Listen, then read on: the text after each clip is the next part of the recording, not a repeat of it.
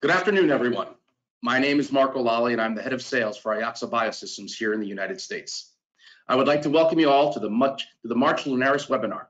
We'd like to thank each of you for taking the time out of your schedules in order to attend and hope you'll find the presentation both informative and relatable to the work you all do on a daily basis. Our speaker today is our in-house expert and field application scientist, Dr. Alex Kiraly.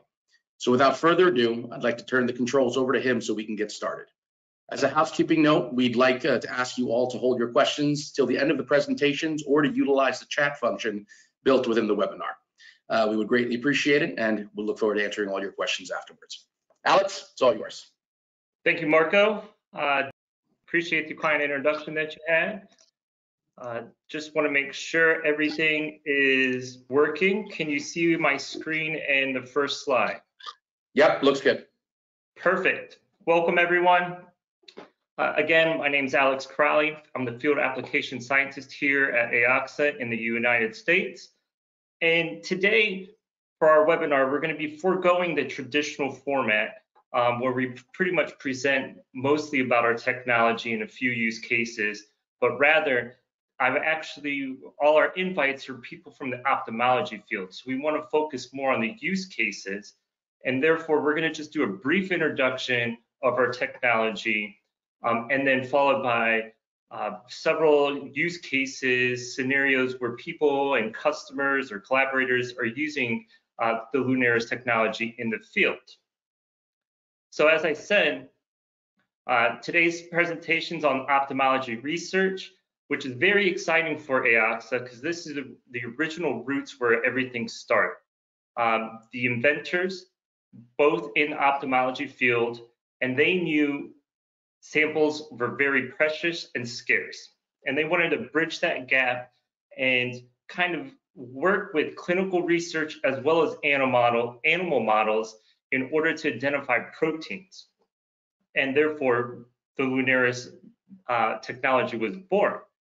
Uh, with our ophthalmology kits, uh, we can actually analyze several ocular diseases, uh, ocular surface diseases such as allergies, uh, dry eye, chemical burns, to intraocular diseases, looking at AMD, retinopathy, uh, ocular trauma, glaucoma, etc.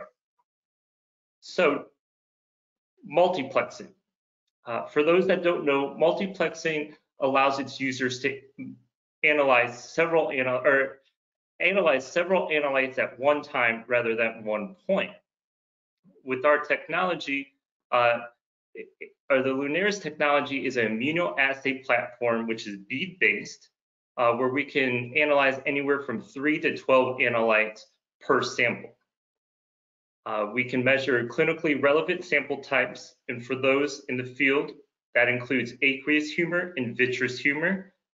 And uh, for what we can detect are several are secreted markers, including cytokines, chemokines, in both growth and complement factors. Now, here what you see is a picture of our biochip, which is kind of the heart and soul of our technology. Um, in each well, we have approximately 10,000 microcavities, uh, which houses our beads, um, which you could see in the following and subsequent uh, photos in the image. Performance-wise, our sensitivity is a about one peak is at one picogram per milliliter uh, with high precision and accuracy. Our dynamic range is between three to four logs, um, and data quality again uh, with low CVs and recovery rates between 80 and 120 percent.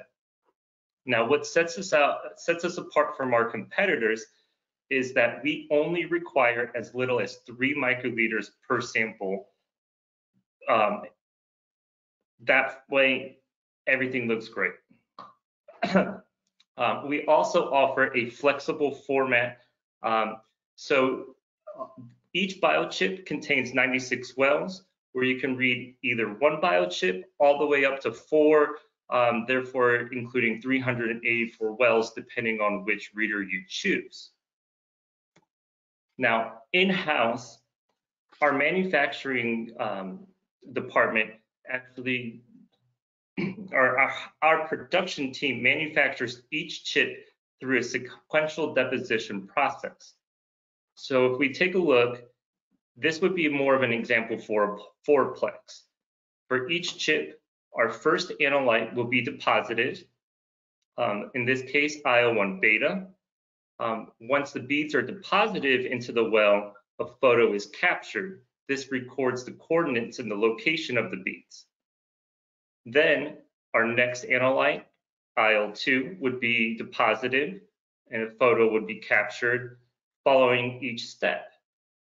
And once the last uh, analyte is um, poured, we then take a final photo and uh, that way we have everything stored on a, all locations for each bead stored on a chip specific data file, which is included with your kit. Um, this actually also sets us apart from our competitors. Um, so this is actually more randomized, or therefore you can take out variability um, from that portion as well. Um, with our readers, we offer real-time imaging. Um, this is a screenshot of an actual read uh, where you will be able to see both the microscopic bright field images as well as the fluorescent image as well. Um, now, when we talk about our Lunaris platform, that includes three components. Our kits, pictured here on the left. Um, again, we can detect volumes as low as three microliters. For our kits, everything is included, our biochips, reagents, standards, etc., including the data file with uh, the houses, um, the data, uh, beads location that I just explained. Uh, second component is our reader. Um, our reader kit is a dedicated benchtop device. It's about the size of a small laser printer. And what's truly unique is just the load and read. Um, it's truly plug and play. Once you finish your assay, you just plug the uh, biochip in on the plate and just press play. Uh, Time-wise, you can read up to 384 samples in less than one hour. For one biochip, it usually takes about 10 to 12 minutes. And then our final component is our Lunaris software. Uh, this software is truly user-friendly. Um, as a professional in the field, I've worked with it. It's really easy. You're just usually usually just uploading two files. Um, you have the options to complete data reports in less than one minute. And you also have the ability to extract all raw data, um, results in graphs, which is also great. Um, and you can export those either through Excel or in a PDF file. Application-wise, um, for Lunaris and for the following presentation, um, this image for the eye is kind of how I'm going to focus the following the remainder of our presentation. Um, I just I'm not going to go over the anatomy, but I structured this presentation. Um, we're going to be going from out to in, almost kind of thinking more viscosity. So we're going to start with tear fluid um, and work our way into vitreous humor. Uh, and then lastly, looking at tissue homogenate, a sample uh, where an investigator is working with RPE. And I do want to uh, mention that uh, here at AYOXXA, we are actually working with another collaborator looking at cell culture supernatant with Lunaris um, using an organoid on a chip or a 3D cell culture model where they developed um, these models using stem cells. So moving on, uh, before we get into specifics, I just want to look at kind of go over some of our kits that we have uh, dedicated to the ophthalmology field. Um, the first one is our Mouse fourplex ophthalmology kit. Um, to the right, you will see our analytes, um, as well as our limit of detection in picograms per milliliter, followed by our lower limits and upper limits of quantification and dynamic range. Um, and what you can see here, and what I want to point out, is that our dynamic range and limit of detections are in the single, single digits. Our next kits, which are our flagship um, uh, kits for our company is our cytokine kits for both mouse and human. So if you're looking for more inflammation, this is a kit and an option for you to look at. Um, and again, both low limit of detection and dynamic range are in the single digits for most analytes. Um, in our pipeline, we are set to release a complement panel in the upcoming months. Um, here is where I would like to just encourage you to take a look at our website. Um, and for our different kits, we offer over 23 different kits. And there you can see which analytes belong to which kids and the application fields as well. now, moving our first use case scenario. So here we're going to look at the tears. Start with the tears, I should say. Um, we recently published not only a publication, but an application note where we analyzed tear fluids from patients with Sjögren's syndrome or dry eyes. Um, this paper was just recently published in Ocular Immunology and Inflammation. And briefly, our field application scientist in Asia uh, came up with a protocol along with our scientists uh, where we can analyze biomarkers in tears by using Schreiber strips, which if you look here at the bottom at this figure, uh, the Schreiber strips are just placed to the eyelid. Um, they are cut and measured, and we can have a process where we elute the biomarkers or the side or uh, the markers um, uh, just through use either by the thermocycler, um, and then it's ready for our kit. Um, continue on. So we knew that dry eye disease is a major public health concern, and we've worked with this um, knowing that tears are a complex sample material type. Uh, we worked, um, if you look at our human 11-plex cytokine panel that we mentioned before, uh, you can actually see for each uh, each analyte, the limit of detection is uh, the lower limit of quantification is where the vertical white bar is, um, and our upper limit of quantification is um, at the end where we can measure up to nanograms, almost micrograms for each analyte. Uh, tear recovery, uh, now when we did our validations kit our validation studies as well as what was published, uh, you could see for 10 out of the 12 analytes that fell in between 80 to 100 to 20 percent.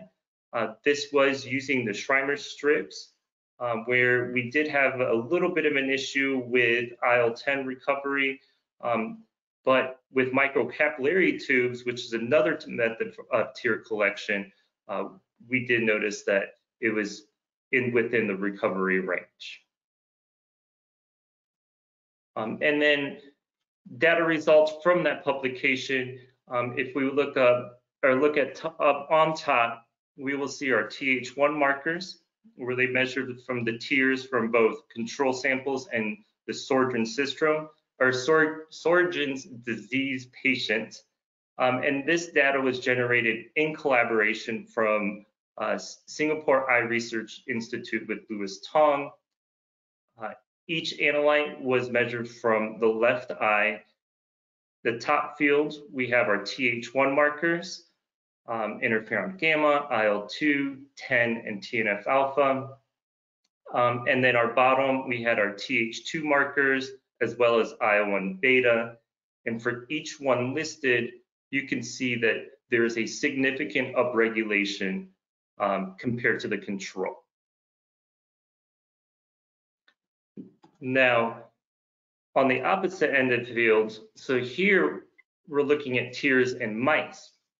Uh, this was done, this work was done by Yuxian Bo and Kendrick Shaw from Hong Kong University. And this was a poster presentation uh, presented at ARVO in 2019. Um, and here they analyzed biomarkers in tears in hyperglycemic mice or Akita mice following alkaline injury. Tear samples ranging from 2.2 microliters to 5.3 microliters were collected uh, using the Schreiber strips. Uh, along with the process that I briefly described earlier.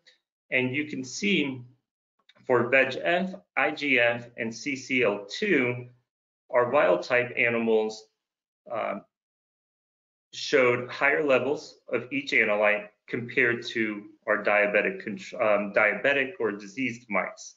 Um, and they concluded that sustained hyperglycemia might impair corneal reepithelialization. Next, moving in, we're going to look at cytokines in aqueous humor.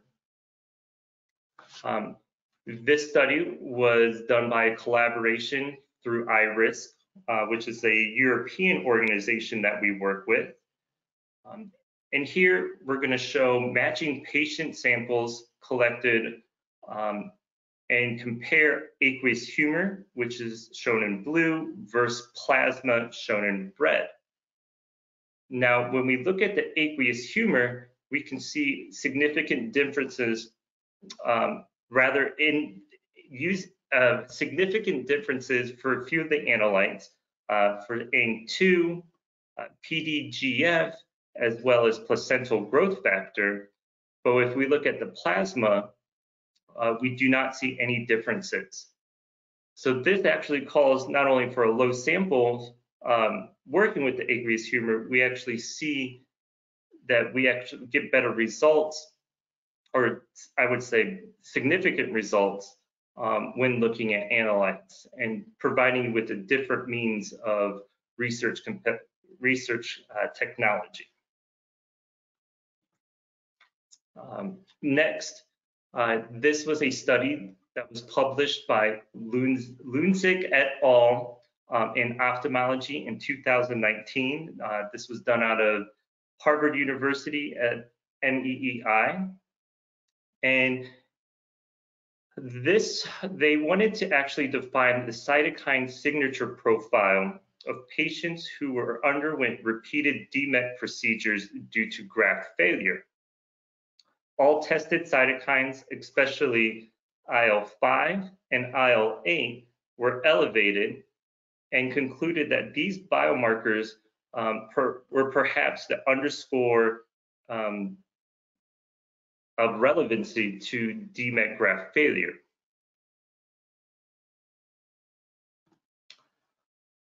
For our next use case, uh, we will be looking at cytokines in the vitreous humor in diabetic retinopathy.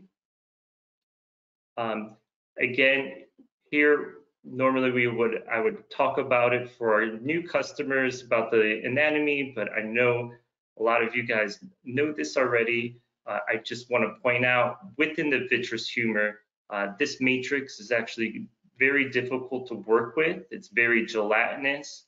Um, the extracellular matrix composed of uh, different types of collagen and fibrillin, um, binds those growth factors. So our team of scientists actually developed a protocol which has been validated, which allows us or allows you to break down the vitreous humor in a working uh, solution and test different biomarkers as needed. Um, and here, this is an example where we looked at diabetic patients, uh, intravitreal um, protein concentrations in diabetic patients that either had diabetic retinopathy in D, labeled DR or no diabetic retinopathy, as well as a negative control or non-diabetics. Um, and using our ophthalmology kit, uh, it was a sixplex, we saw for the three major analytes, um, IL-6, IL-8 and VEGF was uh, upregulated significantly compared to the uh, um, no DR and non-diabetic controls. And then for our final use case, um, we'll take a look at angiogenic mediators in a mouse model of choroidal neovascularization.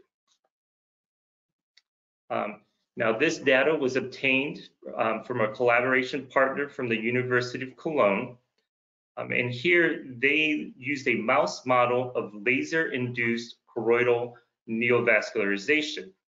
Uh, samples were taken for, at three and seven days post-procedure, and um, we they analyzed the ret, retinal pigment epithelium uh, homogeneity. Um, and again, you can see for some of the um, analytes at day three, we see a significant upregulation of CCL2, IGF, PDGF, um, and then at day seven, we see a decrease from our controls that's significant, um, as well as for VEGF and PDGF uh, biomarkers. And just to summarize, um, again, the Lunaris technology, uh, you can achieve more from less. Uh, you only require three microliters to sample per, uh, per well. Uh, Lunaris technology is robust, robust and reproducible using our planar bead-based detection system. It's modular or scalable uh, anywhere from 96 wells, um, as you can see to the right, photo at the bottom at the right, all the way up to 384 samples for high throughput screening. And our Lunaris kits are validated for specified matrices. Uh, just to kind of move on forward to this, uh, our ophthalmology kits are uh, uh validated for aqueous humor, vitreous humor, cell culture supernatant, as well as serum and plasma. Um, and then we also have a couple other kits, such as our flagship kits, that are the cytokine ones, that are validated for those matrices as well. And before we take any questions, um, if you take a look on our website, uh, we do have a section where we do um, we list publications uh, that for individuals who used our um, technology as well as application notes. So here you can see a couple selected publications for the ophthalmology field um, and as well as our uh, application note uh, for tear fluid analysis, which you can download. Um, and at this time, I'd like to thank everyone for attending. I know it's a short webinar, but just want to make sure that you guys understand um, that what is capable through using Lunaris. Um, and at that point, I will take any questions.